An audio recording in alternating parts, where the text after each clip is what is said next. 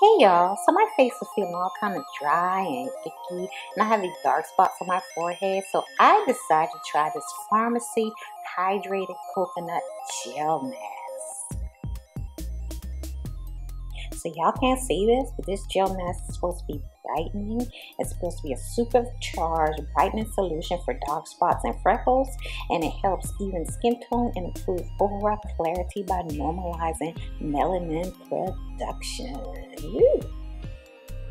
Now I did get this in my BoxyCharm box, so it came in a uh, set with three of these masks.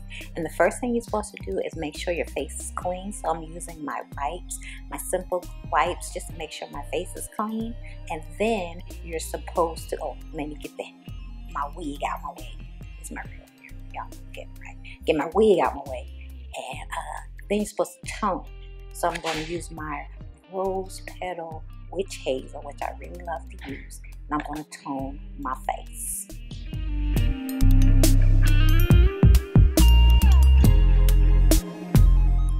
All right, now that that's all done, putting my eyes back on.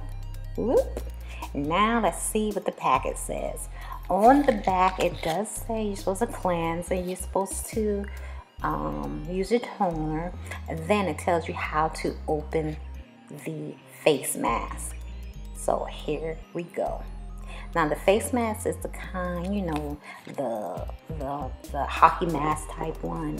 So it has three, it, it, the mask is actually in between two sheets of other type of paper. So it just, I am just gonna take it off, take off one side, put it on my face, and then take off the second side. Here we go.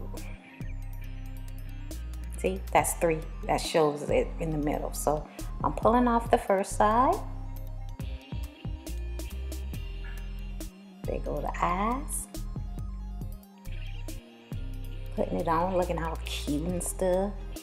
It, it does, it's already feeling moisturizing. And putting it on, it sticks to your face. You don't have to worry about it coming off and you easily pull off the front. So you just make sure it's on there and you leave it on for about 25, 20 to 25 minutes.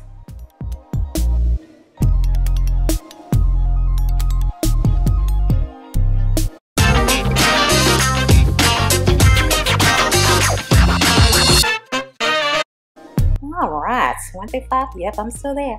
25 minutes, I'm ready. Later, I'm ready to peel it all off. I got this nice moisturizing feel on my face. It's not overly moisturizing and you don't wash it off. You just rub it on in. And that's what I'm doing. And it feels really good. I do feel hydrated and I really liked it. The only thing I'm going to smell, mm, it, it has a weird smell, but I mean, it's not too strong, but you will notice it. So that's it. I really liked it. Hope you like this video. See you in the next one. Oh, little girl. Get, girl. Bye.